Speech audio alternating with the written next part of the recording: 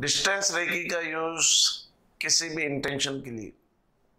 किसी स्थान को रेकी देनी है, किसी वस्तु को रेकी देनी है, किसी इंटेंशन को रेकी देनी है। आपको क्या करना है? मैं अपना आभार मानता हूँ, मेरे की शक्ति का आभार मानता हूँ।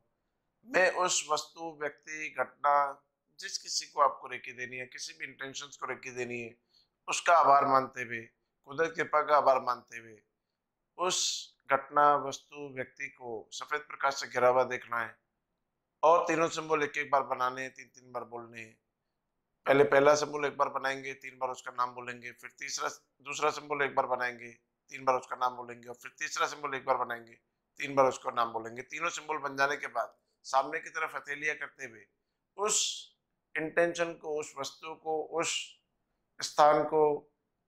जिस किसी इंटेंशन के लिए आप रेकी देना चाहते हैं, उस इंटेंशन को दोहराएँगे और दूसरा सिंबल एक बार बनेंगे तीन बार उसका नाम बोलेंगे की से की तीसरा सिंबल एक बार बनाएँगे, तीन बार उसका नाम बोलेंगे, चुकुरे चुकुरे चुकुरे। उसको कंप्लीट होने की आपको भावना रखनी है, उस फीलिंग्स को अपने अंदर स्टोर करना है कि अगर वो इंटेंशन कंप्लीट हो जाएगी तो आपको कैसा फील होगा? और कंटिन्यूस आपको रेकी फिफ्टीन ट्वेंटी मिनट्स तक पास करनी है। जितना ज़्यादा से ज़्यादा समय रेकी देते रहेंगे, उतना जल्दी से जल्दी काम होगा, पर minimum fifteen to twenty minutes आपको रेकी देनी है। तो ये एक एसेंस है रेकी का। आपको जिस किसी व्यक्ति वस्तु स्थान के लिए रेखी देनी है, आपको पहले आभार विधि करनी है, तीनों सिंबल एक एक बार बोलने, तीन तीन, एक एक बार बनाने, तीन तीन बार बोलने और इंटेंशन को दोहराना है और